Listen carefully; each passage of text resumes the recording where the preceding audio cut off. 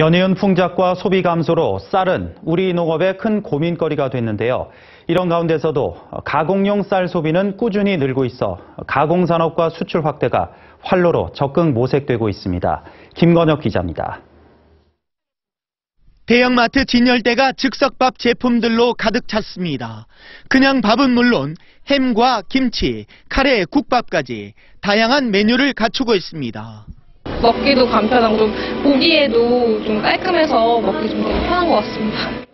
혼자 사는 1인 가구와 맞벌이 가구가 늘면서 간단하게 식사를 해결하려는 추세와 맞물려 즉석밥과 간편식 시장은 계속 커지고 있습니다. 이런 변화 때문에 쌀 소비가 감소하는 상황에서도 가공용 쌀 소비량은 늘고 있습니다. 가공산업이 쌀 소비의 대안으로 떠오르고 있는 겁니다.